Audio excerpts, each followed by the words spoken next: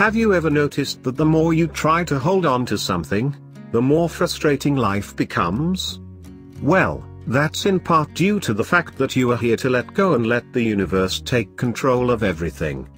The more you try to hold on to material things, or relationships, the more complicated everything becomes.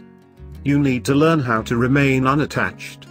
If you need something to attach to, attach yourself to your faith. The key to a meaningful life is in giving. The more you give unconditionally, the more the blessings seems to flow into your life. You are nothing more than a vessel for things to flow through. You are a great speaker and have the gift for marketing and promotion. It is here that you may be able to start your own business or organization. A non-profit organization would be perfect for your type of energy.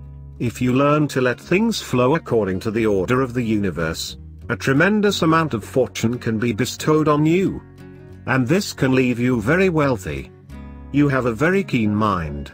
Coupled with your intuition, you have an inner guidance that will always lead you down the right path, or at least most of the time. Your intimate relationships are mostly focused on having someone that you can share your deepest secrets with. You like someone who is intelligent and sharp, and has a nice sense of humor. Family will always come with certain responsibilities, and your values will always appear to remain very traditional. You have a keen business sense, you are also a risk taker. You possess a gift for figuring out creative ways to make money. You have the ability to manage almost every level of business, whether that's starting a business, managing the business or large groups of people associated with the business. Partnerships, however, do not necessarily work for you. You like to take the lead and handle all of the details on your own. You can be very creative and original. You can be extremely competitive and make a great team leader. You are very practical and always seem to have the end goal in mind. Your confidence and realism can carry you every step of the way. You look at obstacles as challenges, and you like nothing better than figuring out the best way to overcome a barrier. You can be a little excessive with money at times. You like to show off your rewards so others take notice and comment on what you've achieved. You can at times be a bit impatient, especially with those that are less driven than you. You don't like to see weakness in others. If you face all of your struggles and limitations head on with a positive attitude you can achieve almost anything you put your mind to. However, you do need to learn to be more expressive with your emotions.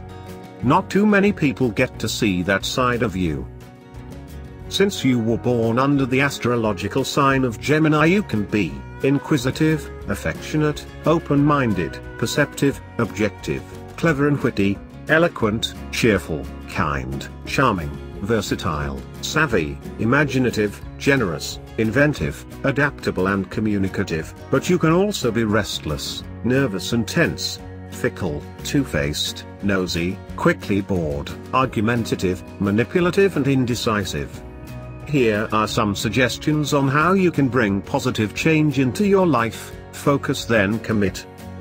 Follow through on everything, trust even when it's not easy. Look at the big picture, stop putting things off it's now or never for God's sake. Relax. Mind your own bloody business and for once in your life make a decision, and most importantly learn to love yourself and others unconditionally.